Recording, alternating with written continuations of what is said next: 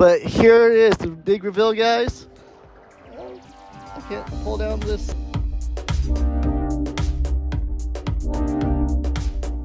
This is my good friend Watty, uh, Alex Watson, aka Watty. Everyone calls him Watty. Uh, so he is the, excuse me, he is the director and writer of, of the film Bundy Manor, which what we filmed last year, which was my first ever feature film that I've been a part of, thanks to him. And yeah, just explain wh- what's Bundy Manor all about, man. So Bundy Manor is about it's a horror film, so of course it stars a family that moves to a small town and all hell breaks loose. It's about a they move next to or across the street from a guy who uns- runs a extreme haunted house and it turns out he's not just running around chasing people with chainsaws, but it is scarier. Scarier. Oh shit. Okay, I can't wait to see it. Even though I'm always filming it. Yeah. But you wrote this in the heat of COVID, uh, and I was there right alongside with you. What was your uh, process like while during COVID? So, uh, I mean, I had the idea like two years before, and I wrote out an outline two years before, and then it just kind of sat uh, in my drive for a while. And then during COVID, I mean, there wasn't a ton to do, let's be real. And I was dealing with a lot of issues, as a lot of people were. And uh, I just realized I really wanted to get a movie off the ground. And this, out of all my ideas, this movie actually seemed plausible because it, you know, money wise, Yeah. small town. All my good friends could be in it and uh, I was like, you know what? Let's try it and get this done and see if we can get it off the ground. So what you're saying is, just because you have an idea two years before, just be patient. It'll come back to you, uh, and you can always do it. Is that what you're saying? Manifest. Manifest that shit. Yes. So when is the movie coming out? It's a great question. So we're currently still in post production, but we're very close. The final cut for the editing's done. The final cut for the color correction's done. Uh, VFX, all that stuff. We're just waiting on the uh, sound, which literally could be any moment right now.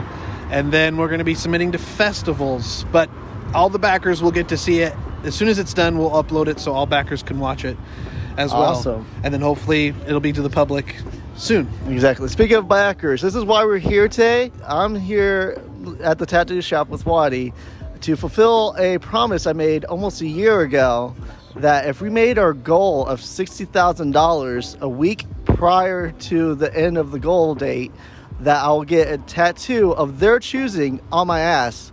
Well, today is that day, and we're going to be going in and getting this done today. Not Hey- many friends do this. So I love you. and believe me, as soon as he announced that, uh, the the donations came. I literally woke up one morning. I was like, dude, we get, let, us help get this going faster. So I was like, what if I just get a tattoo on my ass? he was like, are you serious? I was like, yeah, let's go. the backers dis- submitted a design. Yes. They voted for it, and now you're gonna get it. Yeah, uh, let's go in and get this tattoo.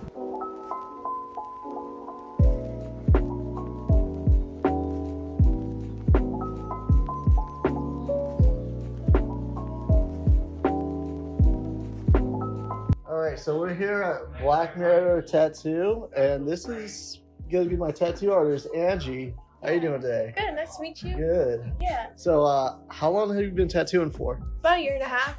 A year and a half. Wow, just right out the gates, huh? Yeah. Like, Getting awesome. close to two years. All right. So, uh, in the back earlier, like you showed me your little setup and stuff like that.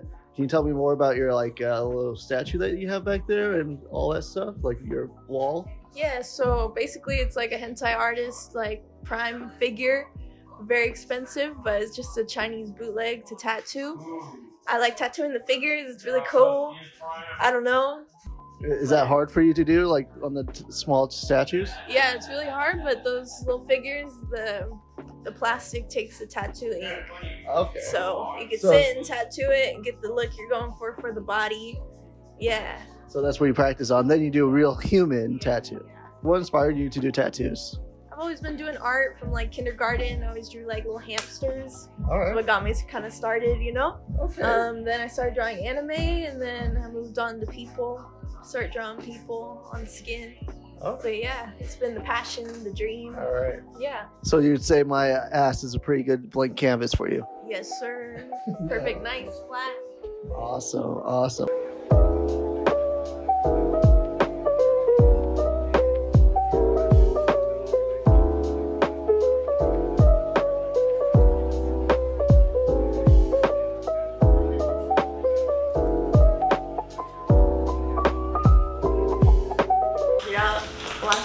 Last one. Before we get down to business.